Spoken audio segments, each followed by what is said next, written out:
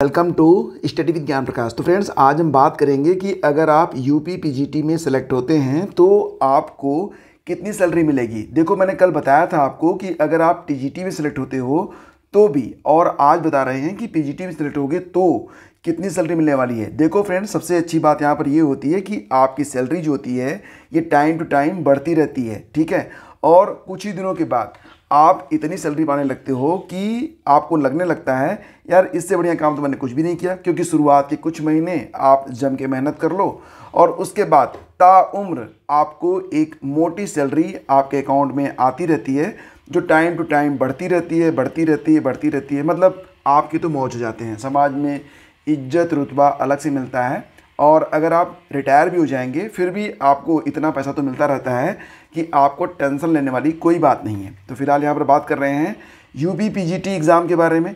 U P के form भरे गए हैं, परीक्षा हो जाएगी दो चार छः महीने में हो जाएगी, उसके बारे में बात नहीं करते हैं। सैलरी कितनी मिलने वाली है, उसके बारे में बात कर लेते हैं। देखो फ्रेंड्स ये जो पीजीटी होता है ना पोस्ट ग्रेजुएट टीचर तो इसका जो ग्रेड पे होता है, वो होता है अड़तालीस सौ रुपये चार हज़ार आठ सौ रुपये ग्रेड पे इस पर जो बेसिक पे बनती है, वो रहती है सैंतालीस हज़ार छः सौ रुपये डी ए मतलब डियरनेस अलाउंस कभी कभी इसे 50 परसेंट कैलकुलेट करते हैं और कहीं कहीं इसे 51 परसेंट फ़िलहाल तो अगर हम देखें तो जनवरी 2024 से जो डियरनेस अलाउंस है, वो 51 परसेंट है। मतलब सैंतालीस हज़ार छः सौ रुपये का फिफ्टी वन परसेंट और ऐड हो जाएगा। तो फिर आपको यहाँ पर चौबीस हज़ार दो सौ छिहत्तर रुपये मिल जाएँगे डियरनेस अलाउंस आपको यहीं पर क्लियर कर दें कि जो आपका डियरनेस अलाउंस है, ये साल में दो बार मिलता है, यानी कि और बढ़ बढ़ के मिलता है, ठीक है? तो एच आर ए अगर मान लेते हैं आपकी जो पोस्टिंग होती है, वो रूरल एरियाज़ में होती है तो आवास भत्ता भी मिलेगा आपको। कितना मिलेगा? एक हज़ार आठ सौ सत्तर रुपये तो आपको जो सैलरी यहाँ पर बन रही है, तीनों को जोड़ के बनेगी। यानी कि जो कुल सैलरी आपकी बनेगी, वो रहेगी तिहत्तर हज़ार सात सौ छियालीस रुपये अब बड़ी शानदार सैलरी हो गई तिहत्तर हज़ार रुपये कम नहीं होते बहुत पैसे होते हैं लगभग पौने लाख के आसपास लेकिन पूरी सैलरी आपको नहीं मिलेगी। आ, कुछ पैसे सरकार आपकी चिंता करती है तो जब आप रिटायर हो जाएँगे तब आपको देने के लिए वो एनपीएस के अंतर्गत काट लेगी। तो एनपीएस कितना करता है? Ten percent.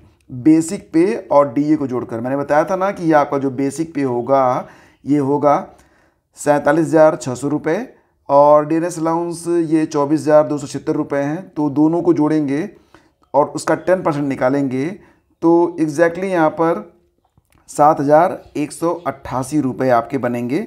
मतलब एन पी एस के लिए ये पैसे कट जाएँगे।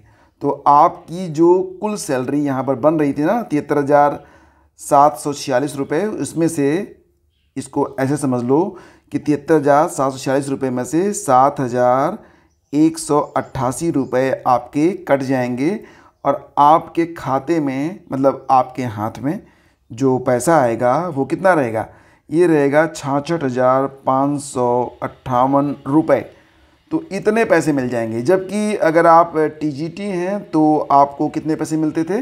पहली सैलरी मैंने बताया था ना तो आपको बता दूँ, ये टीजीटी वाला है बासठ हज़ार चार सौ पचपन रुपये ठीक है? तो आप समझ गए होंगे कि अगर आप पीजीटी चुनते हैं, चुने जाते हैं तो आपको पैसे ज़्यादा मिलते हैं। अगर टीजीटी चुने जाते हैं तो भी आपको पैसे तो मिलते हैं। इतने बुरे भी नहीं हैं। दो चार हज़ार रुपये ऊपर नीचे होते हैं। लेकिन अच्छा कुछ लोगों ने पूछा था कि टीजीटी वालों का प्रमोशन कैसे होता है? तो टीजीटी वाले सीनियर होके पीजीटी बनते हैं। पीजीटी के बाद अगर आपकी योग्यता है तो आप प्रिंसिपल बनते हैं। और अगर आपका जो पॉलिटिकल अप्रोच है, वो थोड़ा अच्छा है तो आगे चल के जो बड़े बड़े शिक्षा आयोग बनते हैं, उसमें किसी प्रतिष्ठित पद पर भी आप पहुँच सकते हैं। तो बहुत सारी संभावनाएँ हैं। हालाँकि जो सैलरी होती है, ये डे बाय डे नहीं, सॉरी ईयर बाय ईयर बढ़ती जाती है और लगभग छः महीने में आपका डी ए, डियरनेस अलाउंस बढ़ता है तो सैलरी जो होती है, ये बढ़ती रहती है। तो फ़िलहाल, ये जो पैसे हैं, ये आपके भी अकाउंट में आ सकते हैं। आपकी परीक्षा में दो चार छः महीने का टाइम है डेडिकेशन के साथ परीक्षा दो सेलेक्ट हो जाओ और फिर उम्र मौज करो। धन्यवाद। वीडियो अच्छा लगा है तो लाइक और शेयर करना और अगर कोई कन्फ्यूज़न है तो कमेंट करना। धन्यवाद।